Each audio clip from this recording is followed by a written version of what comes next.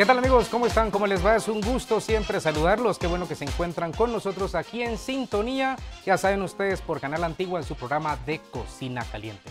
Mi nombre es Chef Luis Alfredo Fajardo, pues y en esta ocasión les traigo ahí sí que otro platillo más delicioso. Los estamos ahí sí que invitando y dando directamente algunos tips también para que usted pues pueda cocinar también como los grandes y sobre todo deleitar a sus invitados. Así que ya sabe, vamos a ver ahora las recetas que tenemos ahí en pantalla, por favor, en especial los ingredientes que tenemos para esta ocasión. Hoy les traigo a ustedes un plato fuerte. Nos vamos a quedar y vamos a cambiar un poquito la modalidad de estar trabajando un poquito platos de entrada, un poquito De hecho, ahí estuvimos trabajando hace unas semanas atrás un poquito de postres en especial aquí guatemaltecos, pero hoy vamos a cambiar un poquito ahí la dinámica y nos vamos a ir directamente a trabajar técnicas y hoy en especial vamos a ver la técnica de lo que es el asado. Pero para esto, pues yo les traigo esta deliciosa receta que es el lomito en salsa de pimienta. Así que si usted quiere aprenderla, por favor, tome un su lapicero, un su lápiz ahí y anote por favor los ingredientes y las cantidades. Para esto vamos a necesitar 350 gramos de lomito de res, ¿verdad? Ustedes en especial este tipo de carne. Y vamos a utilizar también 5 gramos de pimienta fresca, pero la vamos a moler previamente, ¿verdad? Tiene que quedar fresco porque pues no utilizamos pimienta molida ya de sobre, sino que tiene que ser fresco. Eso tiene que ser para este platillo. Luego vamos a agregar un poco de mantequilla y aceite de oliva también para poder sellar directamente a nuestro, nuestro lomito y vamos a realizar lo que es una salsa. Hoy vamos a ver un poquito del demi-glace, como le conocen ahí, o el desglacé también, que es otra técnica que consiste pues en levantar los sabores de las carnes y para esto pues vamos a hacer una salsa. La salsa pues va a llevar lo que es brandy, va a estar delicioso y vamos a ver un poquito lo que hace un desglacé. Y vamos a agregarle también un poco de vino para que de esta manera pues los sabores se vayan pues ahí fusionando un poco más y la salsa quede sobre todo pues más deliciosa. El vino puede ser blanco o puede ser tinto. En esta ocasión yo les traigo un vino tinto. Y también pues para poder de esta manera darle cuerpo y textura a nuestra salsa, tenemos una deliciosa base de una salsa conocida como española o demi-glace. ¿Qué más vamos a utilizar para esta receta? Pues para terminar a nuestra salsa es únicamente agregarle un poco de crema, mantequilla, sal y pimienta y mire con eso. Más que todo sal porque pimienta va a estar bastante fuerte hoy particularmente en nuestro platillo. Y por último les traigo dos acompañamientos. Traemos lo que es el famoso puré de papa y lógicamente es un papa que es tipo francés, ¿verdad? Vamos a aplicar la técnica como tal, como tiene que ser correcta. Y también para este puré pues vamos a utilizar papa, pues puede ser una papa blanca normal, mantequilla, un poco de crema, un poco de leche, sal y pimienta. Esta es la base para esto. Y por último, otra guarnición más que son unos vegetales salteados. Para esto pues únicamente vamos a utilizar lo que es ejotes, vamos a utilizar tomates cherry, los vamos a saltear y vamos a aplicar el blanqueado para el ejote. Eso es todo. Esos son los ingredientes entonces, espero pues los haya podido anotar y para quienes nos están ahorita pues empezando a sintonizar, bienvenidos sean de nuevo. Ya saben que estamos pues platicando un poquito aquí de nuestra receta conocida como el lomito en salsa pimienta. ¿Qué vamos a hacer entonces? Vean pues, en la primera parte, para que sepamos armando lo que pues vamos a hacer hoy. Primero vamos a hacer las guarniciones. Aquí ya tengo lista el agua para poder empezar y después de las guarniciones, en el segundo bloque vamos a realizar los métodos de cocción, en especial para el asado. No se vaya a perder el tip del chef porque ahí vamos a platicar sobre los términos también de carne que usted pues puede darle a su familia o invitados. Y en el tercer bloque, en el último, amarramos nuestra salsa, servimos las guarniciones y con eso estamos finalizando. Así que no se diga más, vamos a iniciar y vean pues yo aquí tengo de una vez ustedes un poquito de agua y en especial agua, ¿verdad? Ustedes que vamos a utilizar yo sugiero que sea pues agua fría, de preferencia, pues por cuestiones de tiempo tenemos que pues improvisar un poco y vamos a calentar directamente aquí el agua, en especial con esto, ¿sí? Para que de esta manera las papas se puedan cocinar primero cuando es un puré de papa, debe de cocinarse con la cáscara. Quiero que por favor la cámara le haga un acercamiento porque eso también, aunque ustedes no me lo crean, es muy importante para que el puré les quede pomoso. Lo más importante es primero que ustedes cuando hacen un puré se empieza con lo que es el agua fría y tenemos que utilizar la papa con todo y cáscara. Entonces lo que va a hacer es aquí es permitir que se mantenga el almidón de la papa por dentro. Y vamos a agregar siempre pues un poco de sal para que esta pues se vaya de una vez ya empezando a cocinar y condimentando, ¿no? A diferencia de lo que vamos a hacer con lo que es el cocido de la papa, esto es para hacer puré. Sí, ya hemos platicado en algunas veces anteriormente de que para hacer un puré de papa primero tenemos que iniciar con agua fría y esto pues mantiene mejor la estructura del almidón y la papa cuando usted la vaya a hacer puré le queda más pomosa. Ese es un consejo que yo le doy. Pero cuando yo quiero blanquear vegetales, cuando yo quiero darle ese color característico verde que necesitamos, lo que vamos a hacer en este caso es calentar agua. Y el agua en esta ocasión sí tiene que estar hirviendo de preferencia. Veamos por favor un ratito mientras el agua está calentando, por favor atención cámara, porque yo ya tengo listos unos ejotes previamente para que ustedes los puedan ver. Si se dan cuenta aquí estos ejotes ya están cocidos, es decir, ya están blanqueados. Es así como los tenemos que dejar. Si se dan cuenta, para que vean mejor la técnica, esto está crudo, esto está blanqueado. Es decir, que está un término cocido pero al dente, ¿sí? Entonces está crocante. Entonces, si se dan cuenta, cuando está blanqueado, tiene un color más fuerte del color pálido que tiene cuando hacemos algo crudo. Y véngase, eso es lo que quiero enseñarle con la técnica de hoy. Primero que todo, limpiarlos, ¿verdad? Ustedes sencillo. Únicamente, pues a los ejotes no les pongamos tanto amor y pues tratar de quitarle la tira que tiene al centro, ¿sí? La vaina. Y ya después de esto, los colocamos a lo que es el agua caliente. Vea, el agua ya está empezando a hervir. Gracias por esa toma, esa toma está perfecta. Vea pues, ya está empezando a hervir el agua. Es momento de agregar un poco de sal, ¿sí? Para que de esta manera empiece a condimentar y de una vez empieza a hervir, usted deja caer aquí los ejotes o ya sea que usted pues vaya a blanquear cualquier otro ingrediente. Puede ser por ejemplo zucchini, puede ser también por ejemplo eh, whisky, ¿verdad? Se me ocurre por el momento. Entonces lo que hace esta, esta técnica, por decirlo de esta manera, es pues básicamente cocinar al vegetal de una manera gradual. Y lo importante cuando yo voy a blanquear es esto, observe por favor. Lo que voy a hacer es esto, atención. Voy a colocar acá agua fría, ¿sí? Es agua fría. Ya la tengo que tener lista. Y entonces, esta agua fría me va a servir a mí para que cuando el ejote esté cocido a su punto, más o menos 3 minutos, por ahí aproximadamente, usted saca el ejote y lo pasa en agua fría. Eso automáticamente, mis estimados, lo que va a hacer es cortar el efecto de la cocción y eso es un blanqueado. Así que de esa manera pues ya usted lo va a tener listo después para poderlo saltear con la mantequilla y lógicamente lo que es los tomates cherry. Así que vamos a quedarnos hasta acá, vamos a regresar, vamos a un corte, no se quede, no se mueva por favor, quédese con nosotros, regresamos. Bienvenidos sean entonces ahora sí a la segunda parte. Muchísimas gracias por seguir con nosotros sintonizándonos aquí en su programa de Cocina Caliente en Canal Antigua. Ya saben, mi nombre es Chef Luis Alfredo Fajardo y en esta ocasión seguimos trabajando pues con platillos ustedes, aprendiendo de técnicas, aprendiendo un poquito ahí de preparaciones como salsas, desglaciados, etcétera. Eso es lo que estamos trabajando en esta ocasión, así que para los que nos acaban de sintonizar, bienvenidos y bienvenidas también sean ustedes. Ya saben que también nos pueden pues encontrar en nuestras redes sociales a través de YouTube en especial o Facebook. Por Canal Antigua usted pues puede ver ahí las recetas, el paso a paso y sobre todo, ¿verdad?, qué es lo que estamos realizando. Así que sean de nuevo bienvenidos y pues ahora pues estamos trabajando, como les comentaba en, las, en, la, en la primera parte, les dije que en la segunda parte íbamos a realizar directamente lo que es el sellado de la carne Vamos a platicar un poquito, ¿verdad?, sobre lo que es estas técnicas, en especial con el asado, con la grill, porque pues creo que es muy importante que no solamente ustedes aprendan a cocinar, sino que también ustedes pues puedan aplicar técnicas y ya después va a ser, créame, mucho más fácil comprender las recetas. Así que, entonces, no se diga más, vamos a iniciar. Ya sabe, vamos a iniciar primero pues siempre ahí invitándolo, haciéndole la cordial invitación para que este próximo 28 de agosto pues no se vaya a perder por lo que es en este caso este, un festival ahí que tenemos preparado por parte de la que es la Academia Culinaria Las Margaritas, este festival de cocina guatemalteca. Lo invitamos a que también pues usted pues pueda ahí pues eh, ver qué es lo que estamos haciendo con los muchachos y sobre todo que también pues los podamos inspirar a que sea pues parte también de esta gran familia. Entonces, ya después de hablar un poquito ahí de la escuela, hablemos un poquito ahora directamente de las cocciones. Yo aquí ya tengo listo lo que es mi, este, en este caso, ¿verdad? Sartén, grill, parrilla, plancha, como usted quiera llamarle. Y esto tiene que ser muy importante, tiene que estar caliente, ¿vieron? No puede estar medio que caliente, tiene que estar caliente porque esto es lo que nos va a ayudar a que la carne se logre sellar. ¿Estamos? Y aquí pues yo lo que tengo es únicamente las papas cocinándose, ¿verdad? Ustedes en el primer bloque dejamos caer las papas ahí para que de esa manera se puedan cocinar.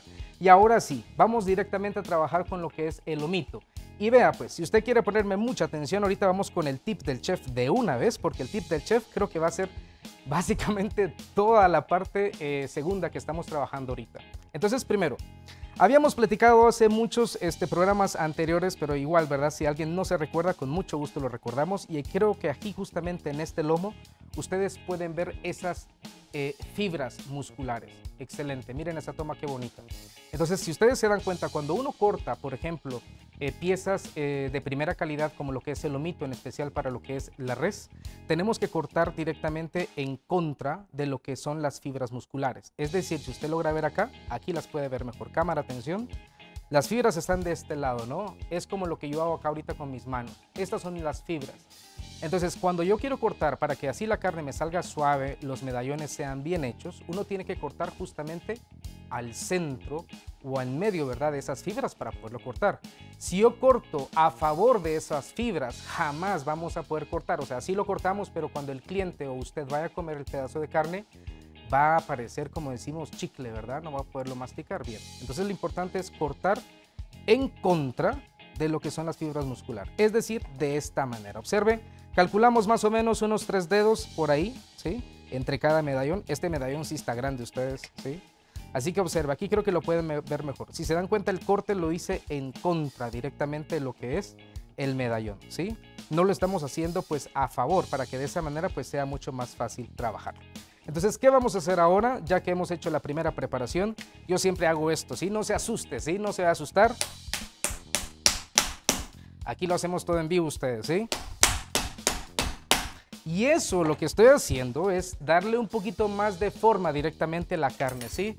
Perdónense ahí con lo que es las salpicaduras ustedes, pero definitivamente esto les va a ayudar a poder que la fibra muscular sea un poquito más suave y al momento que yo la vaya a comer, pues se pueda desprender mejor. ¿Estamos? ¿Qué hacemos ahora? Únicamente vamos a colocar sal, ¿sí? Vamos a condimentar. Normalmente en los asados se coloca la sal cuando uno lo está asando, pero pues en esta ocasión únicamente para pues eh, empezarlo a, a cocinar por cuestión de tiempo, pues es recomendable colocar. Entonces vea pues, la pimienta que tengo acá es una pimienta que yo molí, Previamente, ¿verdad? La trituré, le puedo hacer pues algunos golpes con algún mazo. Y lo que hago únicamente es dejarla caer sobre la tabla. Observe, ¿sí? Vamos a colocarle siempre un poquito de aceite, ¿verdad? Ustedes a nuestro lomito, ¿sí? Para que así se le pueda pegar bien sabrosa la pimienta. Y esto es lo que hacemos, observen. Como esto es el lomito a la pimienta, ¿no? Entonces tiene que quedar lo más cubierto en todo que fuera de pimienta, ¿sí? No se preocupe que el trozo es bastante grande, así que no va a ser problema el exceso de pimienta. Observe eso, mire, qué delicia ustedes. Créanme que el trozo que estamos aquí trabajando es casi unas sus 6 a 8 onzas ustedes aproximadamente, así que pues hoy vamos a comer delicioso. Dejémoslo ahí un ratito y véngase conmigo. Vamos ahora a lo que es la grill, ¿sí? Y vamos a hacer lo siguiente, vamos a comenzar ahora sí con la parte del tip del chef.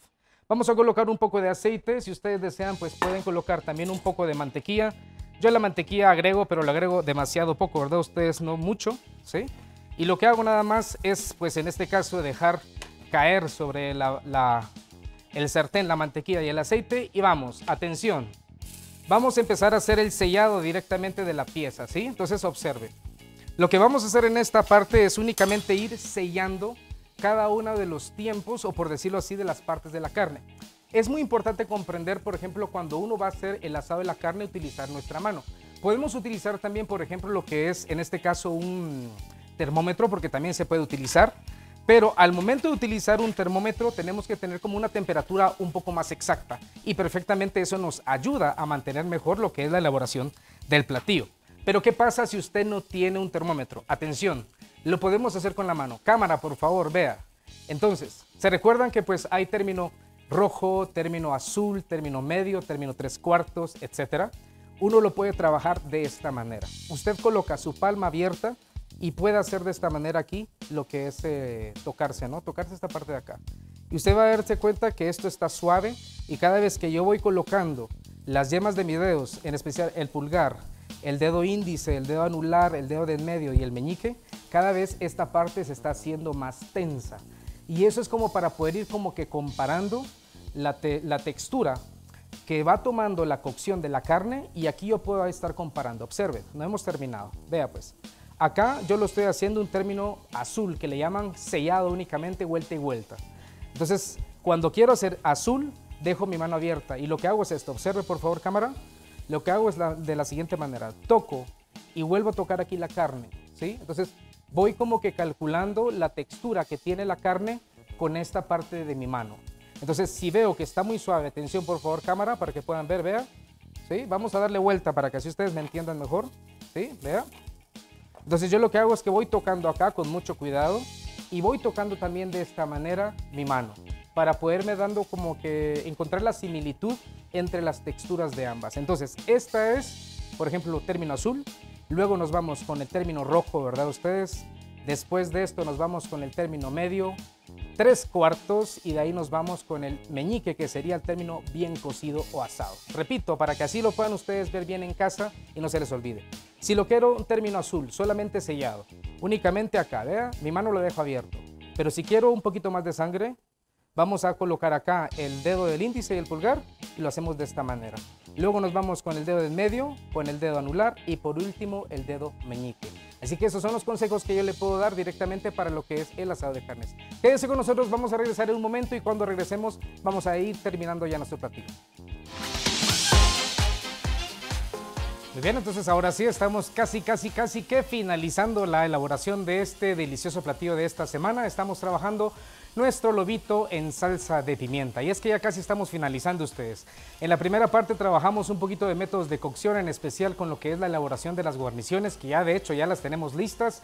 Y ya después, en la siguiente parte, en la segunda parte, platicamos un poquito de lo que es la cocción del lomito. Platicamos también ahí un poquito de lo que es el tip del chef, en especial con el uso de lo que es nuestra mano. Platicábamos que para que usted pues pueda darle el término correcto, un término medio, un término tres cuartos, un término bien cocido a su carne de res, podemos utilizar nuestra palma de la mano de esta manera. ¿Se recuerdan? Habíamos dicho que en la primera parte acá, cuando lo queremos únicamente sellado y sellado, es decir, azul, únicamente colocamos nuestra mano abierta y tocamos esta parte, vean, de acá de nuestra mano, ¿sí? de nuestra palma. Entonces está suave, no está rígido. Su mano tiene que estar siempre suavemente, pues delicada, si lo quieren ver de ese lado, no forzada. Luego nos vamos de punta a punta, la yema con la otra yema, la yema del dedo índice con el dedo pulgar, únicamente los juntamos y lo que hacemos es de esta manera observar, ¿verdad? Nuestro punto acá de la mano y lo rectificamos siempre con lo que es la carne, ¿sí? Vamos de esta manera y volvemos a ver acá y nos vamos a ir dando cuenta si está un término rojo, ¿verdad? Si lo queremos un término medio, es decir, un poquito de sangre, pero no demasiado, pues entonces ya nos vamos con el dedo, que sería en este caso el dedo del medio y nos vamos con el pulgar. Y de esta manera lo mismo. Y vamos haciendo lo mismo, observe, tocando acá la superficie de la, de la carne con nuestra parte de acá de nuestra mano. Si lo queremos término tres cuartos, ¿sí? que ya es un poquito ya casi sin sangre, vamos a unificar nuestro dedo anular con el pulgar, con la yema y únicamente de esta forma tocamos. No es necesario que esté, por decirlo así, tan pegado. Y si lo quiere bien hecho, ¿verdad? Que así es como la forma correcta de decirle. Unificamos el índice con nuestro pulgar, las yemas, y hacemos de esta manera. Entonces aquí de esta forma ya se pone más rígido. Cada vez se va poniendo más rígido. Desde el más pequeño hasta el más grande se va haciendo más rígido o se va haciendo, pues en este caso, más suave. Y en este caso, pues ya lo tenemos listo ustedes. Ya aquí nuestro lomito ya está. Lo vamos a dejar por un momento pues descansar porque tenemos que hacer la salsa. Y observe, para hacer la salsa es súper fácil. De hecho, para hacer la salsa vamos a utilizar directamente un poco de mantequilla, ¿sí? Donde hicimos eh, lo que es la preparación de nuestra carne, aquí vamos a hacer directamente la salsa. Vamos a dejar caer un poco de lo que es nuestro brandy, vamos a dejar caer también aquí lo que es nuestro vino, ¿sí? De una vez para que vaya reduciendo. Y vamos únicamente, antes de que vaya a mezclarse todo, Vamos a dejar que de esta manera se empiece a reducir la salsa, ¿sí? Para que de esta manera pues se vaya evaporando el alcohol que va teniendo. Recuérdese que esto que estamos haciendo acá se le conoce como desglacé, que básicamente es una técnica que consiste en levantar todos esos sabores que han quedado ahí, específicamente de lo que fue pues el sellado de la carne. Y para mientras que eso está haciéndose, vamos a hacer aquí lo que es la parte de las guarniciones. Voy a tomar un poco de mantequilla, observe por favor, ¿sí? Y vamos a dejar caer las guarniciones de una vez. Aquí teníamos listo ya los ejotes, ¿sí? Cuidado ahí que está vivo. Vamos salteando un poco, ¿sí? Y vamos a dejar caer también acá de una vez nuestro tomate cherry, ¿sí? El tomate cherry y lo que sería el ejote lo vamos a dejar caer acá para que empiecen ellos a, pues de esta manera, saltearse, ¿no? El salteado, pues básicamente es esta técnica, ¿no? Ir haciendo directamente con un sartén que tenga, pues, este fondo, ¿verdad? Que me permita a mí hacer el regreso y el va y ven, como diríamos por ahí, me permite saltear. Vamos a colocarle siempre un poquito de sal para que tenga pues siempre algún tipo de sabor y lógicamente pues un poco de pimienta, ¿sí? Bueno, eso se está haciendo ahí para mientras y tenemos acá también nuestro puré. De hecho el puré yo lo tengo aquí listo. Vamos a agregar de esta manera también mantequilla, ¿verdad ustedes? Para que termine de agregarse ahí. Y vamos a agregar también un poco de crema, ¿sí? Únicamente para que le dé textura. Vamos a agregar un poco de leche también para que le dé cuerpo. Y ya básicamente con esto pues vamos a empezar a deshacer todo. De preferencia hágalo cuando lo esté haciendo caliente, ¿sí?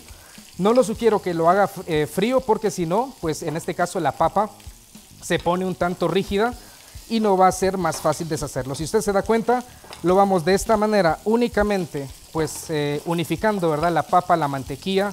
Vamos a agregarle un poquito de sal también, un poco de pimienta. Y mientras estoy mezclando acá todo esto, vamos a ver cómo se encuentra la base de nuestra salsa. Si usted se da cuenta, ahorita ya redujo más o menos unos dos minutos y es momento de agregar nuestro fondo, ¿sí? Vamos a agregar aquí nuestro fondo de, de glass, o en este caso nuestro fondo de res, ¿sí? Y vamos a dejar que de esta manera se pueda cocinar. ¿Estamos? Vamos a dejar por un momento los vegetales por un lado para que de esta manera no se vayan a terminar de hacer, ¿sí? Sino que los dejamos de esta forma acá y terminamos con el puré. Observe pues, ya con el puré únicamente es de ir mezclando los ingredientes. Nos va a quedar un poco ahí medio que espeso, ¿sí? Y lo vamos mezclando, ¿sí? Observe acá. Ya tiene una consistencia un poquito más rígida, ¿no? Vamos a agregar entonces ahora un poco de sal y de pimienta. Si usted desea puede agregarle también acá un poco de queso, por ejemplo queso parmesano, queda muy bien. Vamos a agregarle un poco de sal. Y vamos a agregar también aquí un poco de pimienta, ¿sí? Estos ingredientes son muy clásicos directamente en este tipo de cocina. Bien, vamos a corroborar sabor. Y es que esto ya casi está ustedes, es únicamente de ahorita de ir mezclando directamente todo e ir terminando. Vamos a probar entonces a ver cómo quedó. Mm, un poquito de sal nada más. Y con eso finalizamos el puré. Muy bien, Ahí estamos. Vamos a dejar esto por un lado y me traigo de una vez el platillo para el montaje de hoy, porque ya estamos finalizando esta receta, ¿sí? Entonces observe, me traigo aquí mi plato de una vez. La salsa ahorita ya se está eh, pues de esta manera reduciendo. La salsa se tiene que ir reduciendo poco a poco, ¿sí? Entonces, ahora, ¿qué vamos a colocar? De una vez, nuestro medallón. Atención, cámara, porfa. En el último minuto que nos queda, observe por favor cómo tenemos ahí el lomito. Vamos a utilizar también unos vegetales, aquí previamente salteados, para poder acompañar. Y no olvidemos también que no puede faltar nuestro puré de papas, ¿sí? Ahí estamos.